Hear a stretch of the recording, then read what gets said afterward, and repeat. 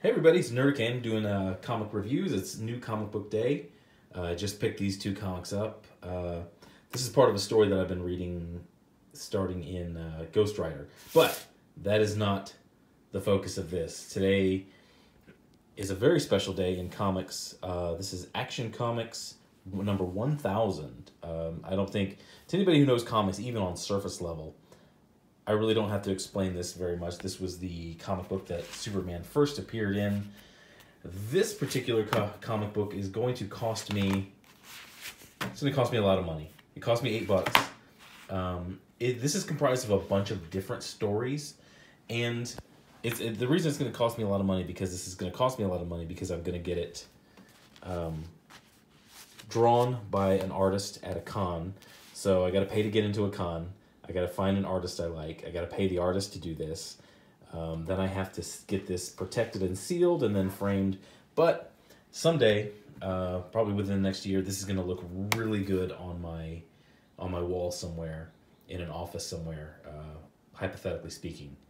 But I went with this cover because I I really do like to get my own covers drawn. Uh, it's expensive, but you get to pick the artist that you that you like and you get to pick the subject matter and the, and the pose and the things like that. And the artist just generally i just let the artist give them a basic idea of what i want and just let them have at it. And artists being creative people that they are i've never been disappointed with one of these. So getting into this you know actually actually you know i'm going to take a, a second to reflect. Um, there is in the past month we've had two major milestone issues we had Cap number 700 and Action Comics number 1000. I've read them both and I've seen reviews of them both. And the contrast in the two is very stark and it's very telling of the culture of DC and Marvel right now.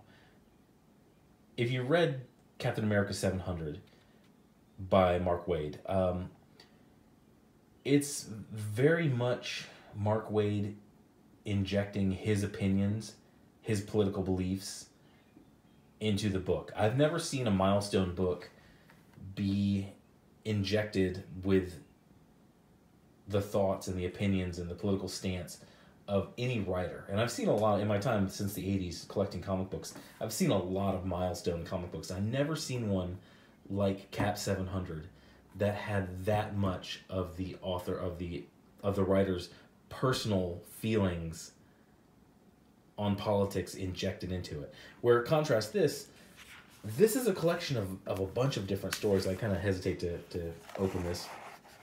You know, I'm not going to give any of these stories away. This is a collection of stories by a lot of different artists and a lot of different writers. But every one of these celebrates Superman and different aspects of him. Um, but you see a recurring theme in this at all in all of this superman is his compassion and his belief in humanity shine through in all of these. Uh, I've, I've, I've never really bought a whole lot of superman comic books because i've always thought of him as sort of a mary sue. He's so powerful and he's so perfect and he's so invulnerable that it's really hard for him to, to struggle with anything um, that's part of the reason I've loved Marvel Comics so much more than DC, is because the characters in Marvel traditionally have a lot of things in their in their own lives, in their own personality flaws that they have to overcome that make it interesting. Um, DC characters for a long time really didn't have flaws, and Superman doesn't really have flaws, personal flaws. But in reading this collection, I kind of realized that that's the beauty of Superman. He is probably, you know, he might be arguably the first superhero. Um, and he's probably he's the most perfect of them. He's he's the shining example. Uh, and in that is the flaw. That's where a lot of his enemies